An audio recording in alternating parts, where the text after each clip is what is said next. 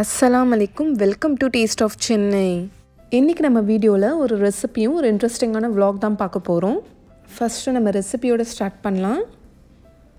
எங்கள் வீட்டில் செய்கிற ரொம்ப ரொம்ப ஸ்பெஷலான டிஷ் தான் பார்க்க போகிறோம் ரவா கேக் இந்த கேக் சாப்பிட்றதுக்கு ரொம்ப டேஸ்டியாக இருக்கும். ஸோ மிஸ் பண்ணாமல் வீடியோ ஃபுல்லாக பாருங்கள் இது வந்து பஸ் பூசா கிடையாது. இது நார்மல் ரவா கேக் தான். இப்போ வாங்க இதுக்கு என்ன இன்க்ரீடியன்ஸ் தேவைன்னு பார்க்கலாம். ஒன்றரை கப் அளவுக்கு ரவா எடுத்துக்கோங்க. அதுக்கப்புறம் ஒரு ஹாஃப் கப் அளவுக்கு மைதா மாவு.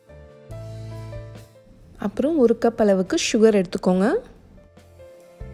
அஞ்சு முட்டை எடுத்திருக்கேன். ஹாஃப் டென் கண்டன்ஸ் மில்க் ஒரு கப் பால் எடுத்திருக்கேன். அப்புறம் ஒரு ஒன்றரை டீஸ்பூன் அளவுக்கு பேக்கிங் பவுடர் ஒரு டீஸ்பூன் வெனிலா எசன்ஸ் ஒரு டீஸ்பூன் ஏலக்காய் பவுடர் ஒரு பிஞ்ச் சால்ட் எடுத்திருக்கேன்.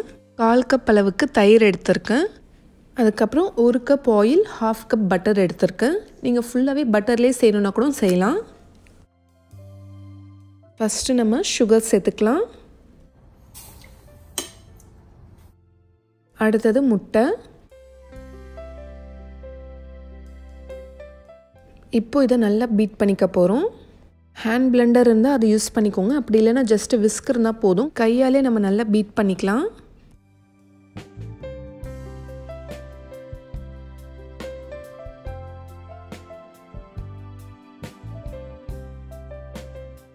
இப்போது அடுத்தது மெல்டட் பட்டர் நான் சேர்க்குறேன். பட்டர் வந்து சூடாக இருக்கக்கூடாது. இது கூடவே ஆயிலும் சேர்த்துக்கலாம். இப்போ இது திரும்ப கொஞ்சம் நேரத்துக்கு நல்லா பீட் பண்ணிக்கலாம்.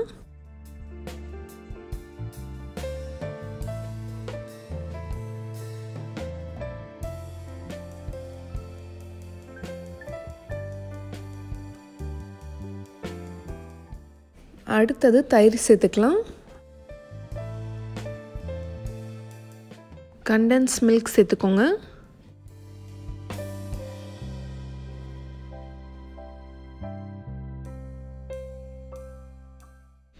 பாலும் சேர்த்துக்கலாம்.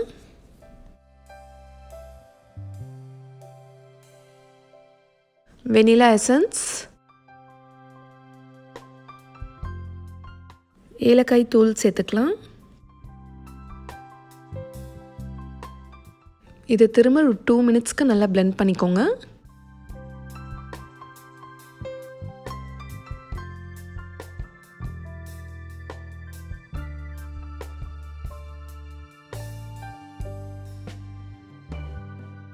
இப்போது அடுத்தது ட்ரை இன்க்ரீடியன்ஸ்லாம் சேர்த்துடலாம். ரவை சேர்க்குறேன்.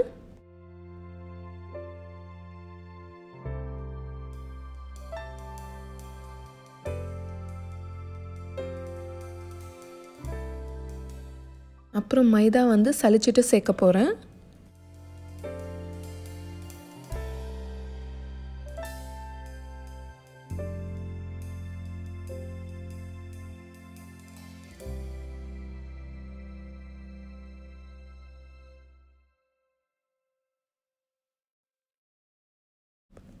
சால்ட்டும் பேக்கிங் பவுடரும் சேர்த்துக்கலாம்.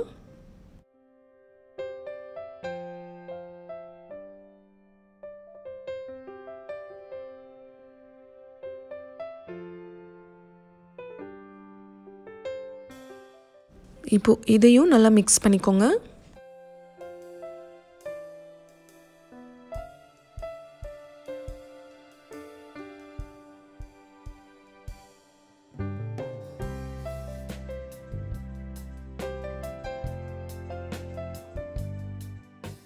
இப்போ இந்த பேட்டர் வந்து அட்லீஸ்ட் ஒரு தேர்ட்டி மினிட்ஸ்க்காச்சும் ஊறணும். அதுக்கப்புறம் தான் நம்ம பேக் பண்ணணும். இப்போ பேக்கிங் ட்ரேயில் பட்டர் தடவிக்கலாம்.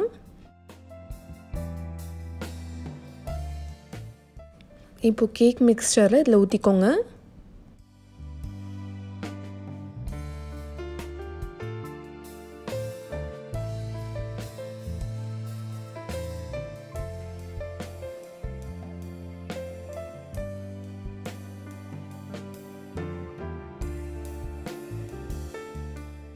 இப்போது இதுக்கு மேலே கொஞ்சமாக நட்ஸ் போட்டுக்கலாம். நீங்கள் விருப்பப்பட்டால் கிஷ்மிஷ் கூட போட்டுக்கலாம்.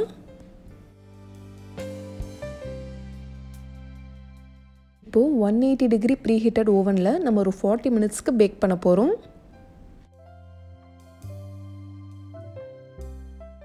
இப்போ ஓப்பன் பண்ணி பார்க்கலாம். கேக் நல்லா பேக் ஆகிருக்கு ஒரு டூத் பிக் வச்சு இன்சர்ட் பண்ணி பார்த்தீங்கன்னா தெரியும். இந்த மாதிரி க்ளீனாக வந்துச்சுன்னா கேக் ரெடி ஆயிடுச்சுன்னு அர்த்தம். இப்போ இது கொஞ்சம் நேரத்துக்கு நல்லா ஆறட்டும் அதுக்கப்புறம் நம்ம கட் பண்ணிக்கலாம். இப்போது வீட்டிலேயே நம்ம கையாலே செஞ்ச ரொம்ப ரொம்ப டேஸ்டியான ரவா கேக் ரெடி ஆயிடுச்சு நல்ல மாய்ஸ்டாக சாப்பிட்றதுக்கே ரொம்ப டேஸ்டியாக இருக்கும். கண்டிப்பாக இந்த ரெசிபி நீங்களும் ட்ரை பண்ணி பாருங்கள் இந்த ரெசிபி கூடவே ஒரு சின்ன வீக்கெண்ட் vlogகும் பார்க்க போகிறோம் இன்றைக்கி வந்து தேர்ஸ்டே நைட் டின்னருக்காக ஃப்ரெண்டு இன்வைட் பண்ணியிருந்தாங்க. பார்பிக்யூ நேஷனுக்கு தான் போயிருந்தோம். இது வந்து அல்வாதா மாலில் இருக்குது இன்னொரு பிரான்ச் வந்து டெல்மா மாலில் இருக்குது ஒரு டைம் இஃப்தார்க்காக நாங்கள் பார்பிக்யூ நேஷன் போயிருந்தோம். அந்த வ்ளாக் நான் ஆல்ரெடி போட்டிருக்கேன். ரெண்டு பஃபேயும் வந்து சேம் கிடையாது. அப்போ வந்து நாங்கள் இஃப்தார் டைம் போனது அது கொஞ்சம் டிஃப்ரெண்ட்டாக இருந்துச்சு. இது கொஞ்சம் டிஃப்ரெண்ட்டாக இருக்குது போன உடனே இந்த மாதிரி வந்து ஸ்டார்டர்ஸ் நம்மளுக்கு வச்சுருவாங்க. இதில் வந்து சிக்கன் டிக்கா ஃபிஷ் டிக்கா அதுக்கப்புறம் ப்ரான்ஸ் எல்லாமே இருக்கும். அப்புறம் இது வந்து பீஃப் ஸ்டீக் வச்சுருக்காங்க. இது வந்து இதில் பொட்டேட்டோஸில் நிறைய சாஸ்லாம் போட்டு ரொம்ப டேஸ்டியாக இருந்துச்சு. அப்புறம் சிக்கன் ட்ரம் ஸ்டிக்ஸ்லாம் தனியாக கொண்டு வந்து சர்வ் பண்ணாங்க. இது ரொம்ப டேஸ்டியாக இருந்துச்சு. இருக்கிற கிரில்ஸில் எனக்கு இதுதான் ரொம்ப பிடிச்சது. அப்புறம் மஷ்ரூம் பன்னீர் பைனாப்பிள் கூட கிரில் பண்ணி வச்சுருந்தாங்க. நம்ம சாப்பிட்டு முடிக்க முடிக்க அவங்க வந்து ஃபில் பண்ணிகிட்டே இருப்பாங்க. அப்புறம் சிக்கன் மலாய் கபாப் இருந்துச்சு. கீழே சார்கோல் இருக்கிறதால எப்பயுமே கிரில் வந்து நல்லா சூடாகவே இருக்கும்.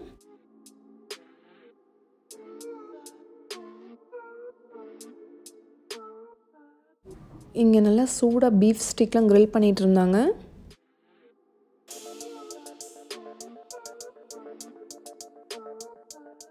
அப்புறம் இந்த சைடு வந்து சாட் ஐட்டம்ஸ்லாம் இருந்துச்சு. மசால் பூரி பேல்பூரி பானிபூரிலாம் இருந்துச்சு. ஆக்சுவலி நாங்கள் ஸ்டார்டர் சாப்பிட்டதே எங்களுக்கு ரொம்ப ஃபுல்லாகிடுச்சு ஸோ ஸோ இதெல்லாம் எங்களால் டேஸ்ட் பண்ண முடியல.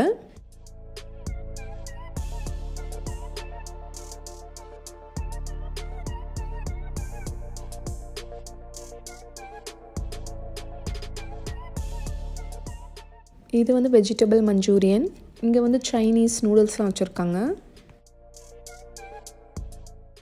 அப்புறம் இந்த செக்ஷனில் வந்து நிறைய சேலட்ஸ் அப்புறம் சேலடோட ட்ரெஸ்ஸிங்லாம் இருக்குது அப்புறம் சூப்ஸில் வந்து கார்ன் சூப்பும் சிக்கன் மேன்ச்சோ சூப் வச்சுருந்தாங்க.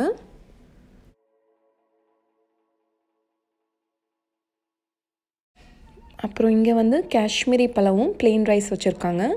காஷ்மீரி பழம் நான் ட்ரை பண்ணேன். ரொம்ப சூப்பராக இருந்துச்சு. அப்புறம் இதில் வந்து மட்டன் பிரியாணியும் சிக்கன் பிரியாணியும் வச்சுருந்தாங்க. இந்த செக்ஷனில் வந்து பாஸ்தா நம்மளுக்கு எப்படி வேணுமோ அந்த மாதிரி அவங்க போட்டு கொடுத்தாங்க.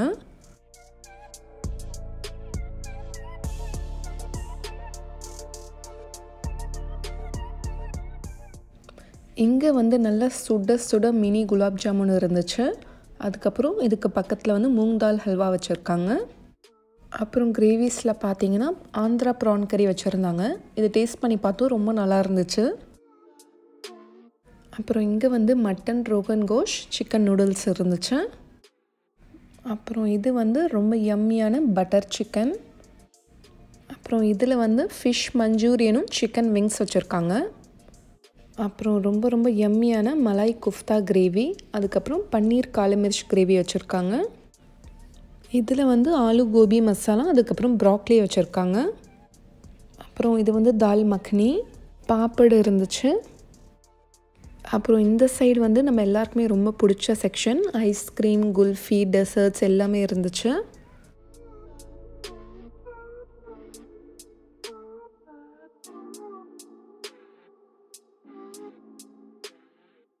இங்கே புட்டிங் டெசர்ட்ஸ்லாம் நிறைய வச்சுருந்தாங்க.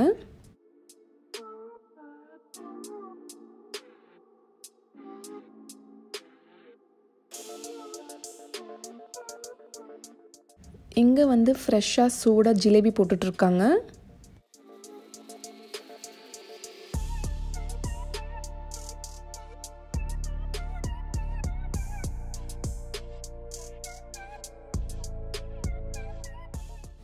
இங்கே ஒரு பர்சனுக்கு வந்து எயிட்டி ஃபைவ் திரம்ஸ் சார்ஜ் பண்ணுறாங்க நல்லா சாப்பிட்றவங்க போனால் இது நல்லா வருத்துன்னு சொல்வேன்.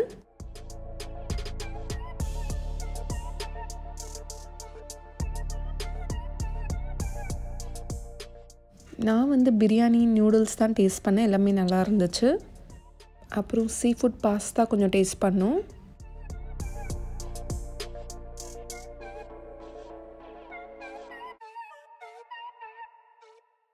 நாங்கள் இங்கே எல்லாருமே ரொம்ப விரும்பி சாப்பிட்டது வந்து ஐஸ்கிரீமும் ஃபலூதா தான். குழந்தைங்களுக்கும் அதான் ரொம்ப பிடிச்சது.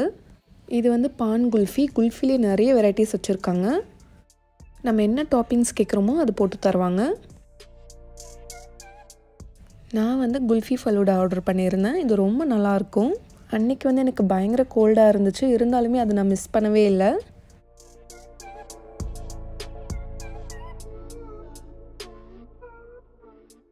ரபடி குல்ஃபி எல்லாமே ரொம்ப டேஸ்டியாக இருக்கும்.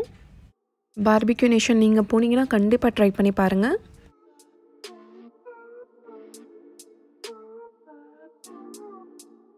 ஃப்ரெண்ட்ஸ் அண்ட் ஃபேமிலியோட இந்த மாதிரி வீக்கெண்டில் டின்னர் போகிறது ரொம்ப ஒரு ஹாப்பியான மூமெண்ட் எனக்கும் சரி ஹஸ்பண்ட்க்கும் சரி இந்த மாதிரி ஃப்ரெண்ட்ஸ் கூட டைம் ஸ்பெண்ட் பண்ணுறது எங்களுக்கு ரொம்ப பிடிக்கும்.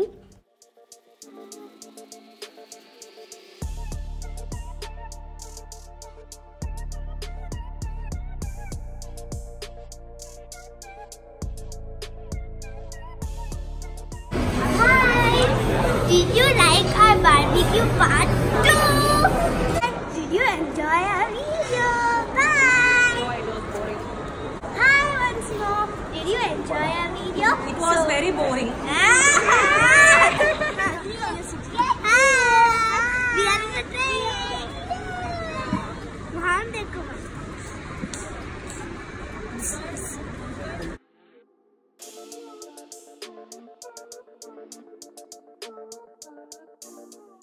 இந்த விலாக் இதோட முடியுது. உங்கள் எல்லாருக்குமே ரொம்ப பிடிச்சிருக்குன்னு நம்புகிறேன் இந்த மாதிரி நல்ல வீடியோஸ் நீங்கள் மிஸ் பண்ணாமல் பார்த்துட்டே இருக்கணும்னா நம்ம சேனல் டேஸ்ட் ஆஃப் சென்னையை மறக்காமல் சப்ஸ்கிரைப் பண்ணுங்கள் நாளைக்கும் இதே மாதிரி வேறொரு இன்ட்ரெஸ்டிங்கான வீடியோவில் சந்திக்கிறேன். தேங்க்யூ ஸோ மச் ஃபார் வாட்சிங்